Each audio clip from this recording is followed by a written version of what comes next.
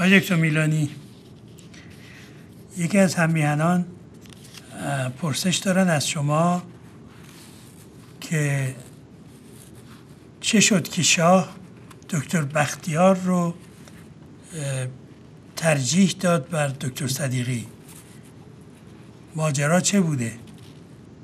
طبق طبق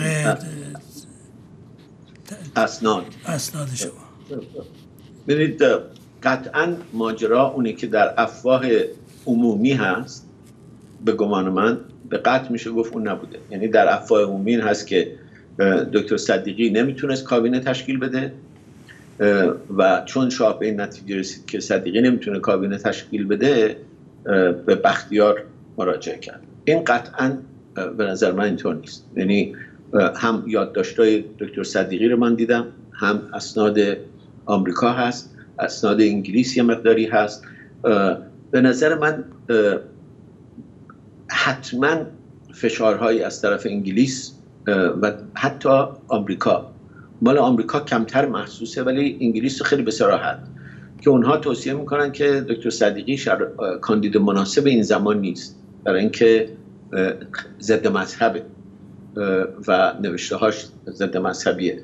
و به گمان من اگر واقعا از این منظر می‌گفتن قطعا اشتباه می‌کردن برای اینکه اونقدر دکتر صدیقی خوشنام بود و اونقدر هیچی بهش نمیچسبید و از همه شاید سران جبهه ملی از سنجابی بگیرید تا بقیه او منزهتر مونده بود. کار دانشگاه رو حفظ کرده بود هیچ کار دیگه هم قبول نکرده بود حبسش هم کشیده بود ولی فشار آوردن انگلیس به طور قطع آمریکا کمی کمتر به طور مشخص که اون کاندید مناسبی نیست. بعضی از اطرافیان خود شاه هم ظاهرا نظرشون بیشتر بر بختیار بوده. اسناد دربار برای ما هنوز در نیامده ولی گفته های این بر من شنیدم از چندین نفر مختلف که بخشی از اطرافیان شاه مثلا ملکه نظرش بیشتر به بختیار بوده و فکر می‌کردن که او شاید بهتر بتونه مملکت رو نجات بده. از اون به نظر من یکی از اشتباهات به گمان من یکی از اشتباهات مهم شاه بود. البته یه نکته هم هست که همه بهش اشاره کردم و به نظر من کاملا قابل تاییده و اون که دکتر صدیقی پذیرش نخست وزیریش رو مشروط بر این کرده بود که شاه در ایران بمونه و شاه صدیقی میگه که آمریکایی ها می‌خوان من برم از ایران و صدیقی میگه که برازنده شما نیست که از آمریکا کارتر چی کار است سفیر آمریکا چی کار است که به شما چه این حرفی بزنه. و دکتر بختیار رو این به گمان من قمار کرد که اگر شاه رو در واقع بذاره از ایران بره با اینکه من شاه رو بیرون کردم یه سرمایه اونقدر کافی برای خودش تأمین خواهد کرد که بتونه در مقابل این موج بیسته. ولی به نظر من خروج شاه از ایران باعث فروپاشی ارتش شد و اون روالی که آمریکایی ها بهش کمک کردن. دوباره این اسناد جدید تردیدی در نقش بسیار بسیار پررنگ آمریکا. در انتقال قدرت. در آشتی دادن فرماندهان ارتش با طرفداران آقای خمینی و متقاعد کردن ارتش که بپیوندن به این قضیه. یعنی نقش به گمان من آمریکا بسیار بسیار نقش مهم غیر قابل انکاری بوده. خود آقای خمینی هم از طریق آقای یزدی با یک واسطه در این مذاکرات در پاریس شرکت داشته. نماینده هاشون هم در تهران بدون واسطه با سفارت آمریکا ارتباط داشته آقای دکتر من با چند تن از دوستان دیگر یک بار مصاحبه کردیم با دکتر بختیار در پاریس. اتفاقا این سوال من از ایشون کردم و ایشون گفتش که من چنین پیشنهادی ندادم به شاه که از ایران خارج بشه. یعنی منظورش این بودش که خود شاه چنین چیزی می‌خواست. من چیزی نگفتم. بله بله. نه یعنی من, من اونو موردم ذکر رو نبود. صدیقی و بختیار هر دو می‌دونستن که آمریکایی‌ها به شاه گفتن باید برید و شاه هم داره تدارک رفتن می‌کنه دیگه. یعنی در این مذاکرات وقتی داره میشه بعضی از اموال شاه از ایران خارج شده. یعنی در کاخ اصلا حال هوای خروج هست. ولی صدیقی. شرطش اینه که شما نرید. بختیار حداقل اینه که اگه می‌خواید برید برید. ولی وقت وایسید تا من رأی اعتماد بگیرم.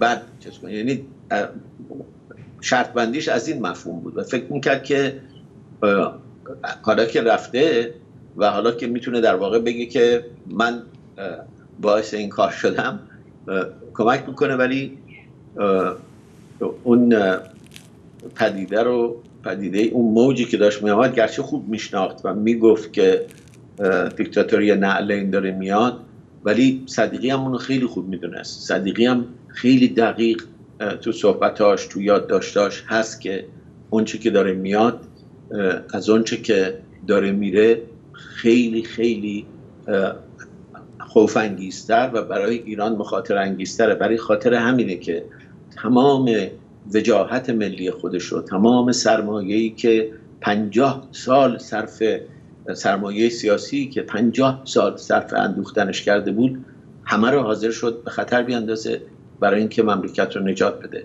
من واقعا ارادت عظیمی به دکتر صدیقی دارم. البته وقتی که در دانشگاه تهران درس می‌دادم و دانشگاه ملی درس می‌دادم دکتر صدیقی برای همه کسانی که در علوم اجتماعی بودن یک شخصیت برجسته بارزی بود.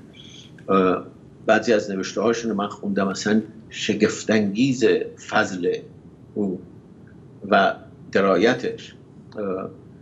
من واقعا به همه دوستان توصیه می‌کنم مقدمه ای که ایشون بر کتاب عرستو نوشتن سیاست در آتن که آقای باستانی پاریزی ترجمهش کردن فکر می‌کنم و امیر کبیر چاپش کرده. تقریبا مطمئنم.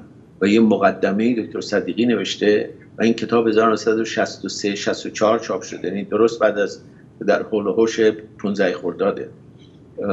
و اونجا با چه دقتی نظریه ارسطو رو و ضرورت یک دولت دموکراتیک رو و ضرورت گریز از نوع حکومتی که بعدها ایران بهش دچار شد حکومت ایدولوژیک مذهبی رو گوشزد می‌کنه. خیلی متن درخشان است من یه نقدی در مورد دکتر صدیقی نوشتم.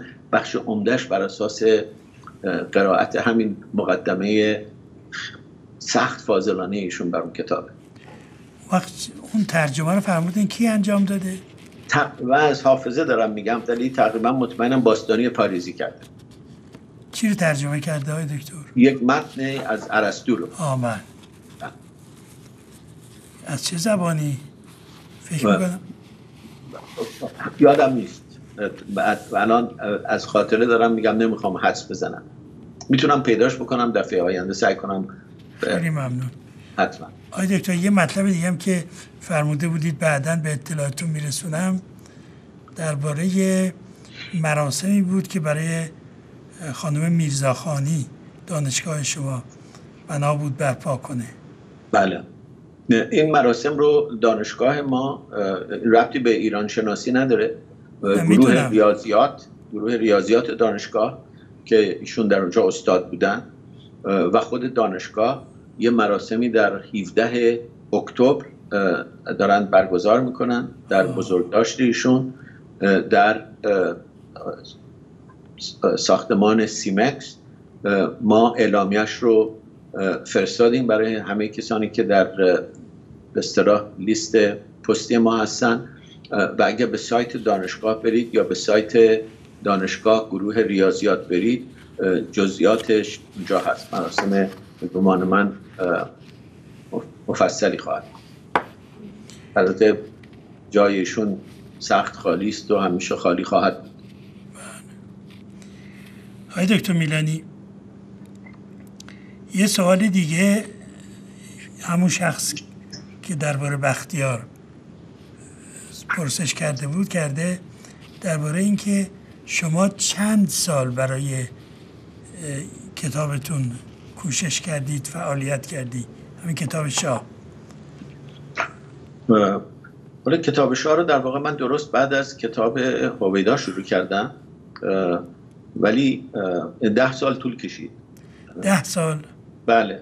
ولی در اون فاصله اون کتاب پیشگامان در واقع Eminent Persians رو هم نوشتم که بله. کتاب مفصل دو جلدی شد. ولی در واقع همه اون در مورد دوران شاه دیگه. یعنی اینا 150 نفر های کلیدی دوران شاه هستن و هرچه درکم از زندگی این افراد بیشتر شد و از روابطشون بیشتر شد در حد بزاعت هم درکم از دوران شاه هم بیشتر شد. پس در واقع حدود ده سال من رو کار کردم بعدم یه سال و خورده ای طول کشید تا ترجمهش کردم دیگه. ترجمه به فارسی خودم در واقع ترجمه و بازنویسی کردم برای اینکه روایت فارسی کمی مفصل تر از روایت انگلیسی راستی های دکتر در کتاب شما من دیدم که نوشتین دکتر صدیقی کابینش هم به شاه گفت آماده است. بله کابینش نه تنها کابینه رو آماده کرده بود بلکه من اینو به دقت می‌دونم ساعت به ساعت تقریبا. روز به روز. همین هم نوشته بودی. برنامه های خودشو. من اونو بر اساس حدس و گمان نمیگم بر اساس سندی که به دستم رسیده میگم. دکتر صدیقی در همه کار برخلاف اون بسیاری که در ایران به قول به حقی در همه کار ناتمامن دکتر صدیقی در همه کار تمام بود. یه دقتی داشت فضلی داشت یک چیزی داشت و تمامش رو برنامه ریزی کرده بود. همین که میگم این باور که یا این شایعه که نتونست کابینش رو تشکیل بده نامید شد و اینا اصلا نیست. برنامه رو داشت شاه برنامهش عوض شد. شاید به فشار آمریکا و انگلیس و شاید به فشار بعضی از اطرافیانشون. الان آسون آدم بگه اشتباه کردن. تو اون زمان به هر حال باید آدم سعی کنه خودش رو بذاره در چارچوب اون زمان و باورها و گمانها و تصوراتی که در اون زمان بود. مثل که با شهبانو خیشاوندی داشتن به اختیار. شما مصاحبه کردید حتما دقیق در می‌تونید نه در جای دیگه خوندم. بله. به من چیزی نگفتنیشون بله. خب با منم که ملکه هیچ وقت مصاحبه نکردم. به همین خاطر من هیچ اطلاعی ندارم. دو سه بار قول دادن ولی هر بار در آخرین لحظه تصمیمشون عوض شد. فکر کردن که ممکنه مطالبی عنوان بشه که با خواست ایشون من دیگه فکر ایشون و خود ایشون می‌دونم من نمی‌دونم. آقای دکتر یه سوال دیگه هم دارم و اون است که به نظر شما در, در جهان امروز چه کشورهایی بیش از همه بر کشورهای دیگه تاثیر دارن بر جهان تاثیر دارن؟ آخرین سوال. امریکا سوال بسیار دشواریه. من فکرم از لحاظ علمی اگر باشه هنوز آمریکاست. هنوز آمریکاست که تعداد کشفیات جدید و از اینترنت نگاه بکنید و از حتی فرهنگ آمیانه نگاه بکنید فرهنگ سینما نگاه بکنید. تعداد دانشگاه ها متقاضیان دانشگاه اینا رو نگاه بکنید من گمان می‌کنم حدس می‌زنم. حتما یه چیزی که میشه در موردش بررسی جدی کرد. شاید هم جدی کردن من خبر ندارم. ولی من بر اساس حدس و گمانم فکر کنم هنوز آمریکاست میگم از موسیقی نگاه بکنید تا تعداد کشفیات جدید تا حضور اقتصادیش ولی به نظر من اون موقعیت الان در خطره. به نظر من اگر آمریکا ادامه بده به این مسیر فعلیش این مرکزیتی که در تولید فکر و در تولید تکنولوژی داشته و در سرمایه داشته و در جذب سرمایه داشته هنوز گفتنگیز دیگه. هنوز هیچ جای دنیا نیست که به اندازه آمریکا سرمایه جذب می‌تونه بکنه. و سرمایه هم میره جایی که فکر می‌کنه سود داره دیگه. ولی اگر در بر همین پاشنه بگذره بچرخه من گمان می‌کنم شاید این مسئله در آینده به خطر بیفته. آقای دکتر یک مؤسسی مؤسسه ایپسوس موری شما می‌شناسید؟ نه. بله از 18 هزار نفر از ساکنان 25 کشور این پرسش رو کرده فقط چهل درصد اونها معتقدند که آمریکا در عرصه جهانی نقش و تاثیر مثبتی دارد و به نسبت یک نظرسنجی که پارسال انجام شده 24 درصد آن کاهش یافته است. کانادا با رأی موافق 81 درصد پاسخ دهندگان به عنوان کشوری با بیشترین تاثیرگذاری مثبت و پس از آن کشورهای استرالیا، آلمان در مقامهای دوم و سوم قرار دارد. خب، من شاید سال شما رو بد فهمیدم. تاثیر مثبت با تاثیر فرق می‌کنه. یعنی اصلا تأثیری که کانادا بر اقتصاد و فکر و یعنی آخرین باری که یک کشف جدید از کانادا جهانی شده کی بوده؟